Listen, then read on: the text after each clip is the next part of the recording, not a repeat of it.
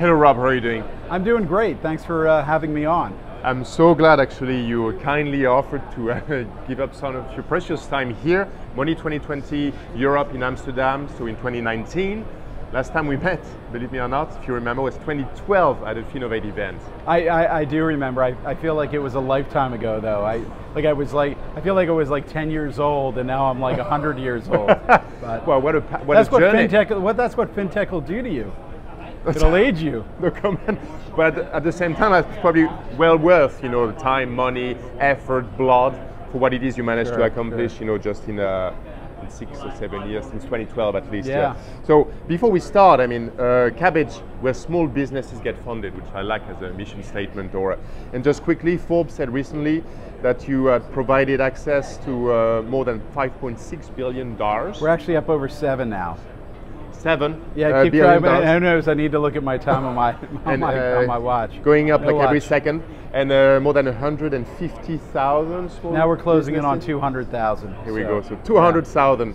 And also in Business Insider recently, you've been flagged as one of the most valuable startups as in the great state of Georgia, I guess in Atlanta. So 1.2 billion valuations, probably much more than that by now, uh, or market capitalization. So, Rob, for those viewers who are not familiar with Kabbage, which is it's going to be very few, could you please give us just a helicopter view of what it is you do here? Sure. So, so when we started Kabbage, it was focused on providing small businesses a really simple way to get access to capital. So literally land on our site, give us access to a few data sources. Within minutes, we'd actually deliver cash to you. We still do that. You know, you mentioned the stats. We've delivered seven billion in capital to nearly 200,000 businesses now.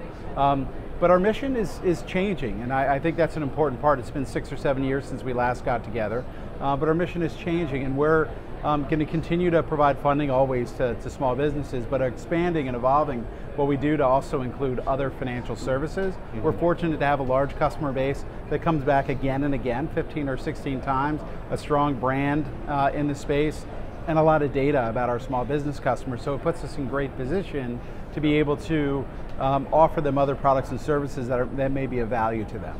So that would be through partnerships then with other. Um, No, actually, we're building a lot of it. So we've announced uh, payment acceptance. Um, So we're uh, we're in pilot last year, and we're actually still in a in a beta pilot period. But we're gonna we're gonna go to broader distribution uh, in Q3 in the third quarter of this year. Uh, and then we're looking at other financial services that you know may be of value to our customers.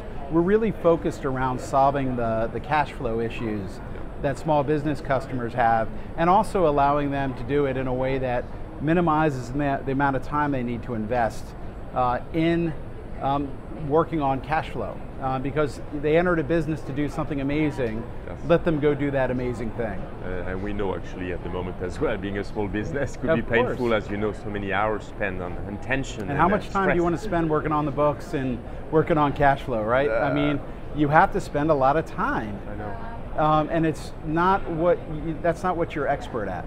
So uh, so think about it as more of an autonomous cash flow solution for small businesses. So you're very big. You build a brand in the US in particular. Let's Yep. talk about international expansions. Can you Yeah. share anything on that, please? Sure, absolutely. So we uh, we've partnered in the past with companies like Santander and ING to basically license our technology to them. Um, we're looking uh, a lot more. Obviously, as you get large in one territory, you start thinking about how you might be able to expand and offer that product or service in other territories. So right now we're in active conversations. We're looking at um, a lot of different possibilities about where we might want to expand the Kabbage brand directly into those markets. Okay, yeah. So, uh, and with the banks, that was in white label solutions. So, uh, Effectively, they've been Oh. licensed technology Yeah, with yeah, a okay. small co-brand. Yes. okay, fair enough. Yeah. Thank you so much. It's fascinating. Uh, we're here at Money 2020 Yep. in Amsterdam, uh, arguably one of the biggest, most meaningful uh, fintech money events actually worldwide. And you're here. You've been invited. So could you please share and tell us more about your experience of Money 2020 and what you shared, the story? Uh, Sure, sure. So I actually was at the very first Money 2020 in uh, Copenhagen. So were, okay. yeah, I was. I did You're a make it. to- veteran of Money 2020. I, I, yeah, well, I'm a, I'm a, every time I feel like I should have some gold star on my badge for the U.S. uh, for having attended every Money 2020 in the U.S. Um, but I've been able to be here in Amsterdam the, the last year and, and again this year, and I've, I, I think the conference is terrific, and it's it's actually very different than the U.S. conference. Uh, I think the content is great. Um, the flow, the way they set this up, how they um, how they you know create interactions between uh, attendees. I think they've done an excellent job, and um, and I think they bring a great. You know, I'm not tooting my own horn. I, I think that you know, outside of me, amazing I think speakers, amazing no? speakers outside of me, but uh, but they bring the you know people who have information uh, and. Um, and who are willing to share it in kind of an authentic way, Mm. uh, and that's that to me is really important. When you have content, you want that content to be not programmed, and you want it to be natural and authentic, and and you want it to actually be insightful, so you can take that information as an attendee and, and use it in your life.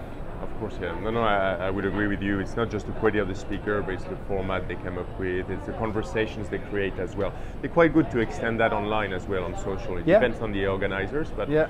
here they're, they're doing a fine job. Yeah. Um, the last question, because you're super busy, so I'm grateful again you're here with me, with us today. Being a leader, a very experienced, you know, uh, company leader, CEO in the fintech space, right? In 2019, according to you, what are still the key challenges to further accelerate growth when you're a fintech startup or even scale up to some extent? Yeah, so look, fintech doesn't move in a straight line. I, you know, I've always said, uh, for me, accelerating growth, we acquire small business customers. I've always said, uh, and pardon my language, but there are a thousand shitty ways to acquire a small business customer. We have to be good at all of them, which means that you know your customers, especially if you're working on more of a retail level, and even though we work with small business, so technically business, they you know they they operate and they and they and they purchase a lot like consumers. Yes. Um, and so we have to be out there with our brand. We have to find every way to market and promote our product and service. And you absolutely just have to continue to be relentless. The competition is never going to be less than it, than than it was the day before. There's always more competition. There's always smarter competition, and you just have to you know you have to continue. If you think you're doing it one way and that's the way you can do it for the rest of your life, you're not going to be a success. You have to you have to constantly evolve. You have to you have to disrupt yourself a more and challenge Yes, yourself, transform I yourself. I totally agree with like that. my good friend uh, Jim Marous would say in the US, and you must know Jim probably anyway.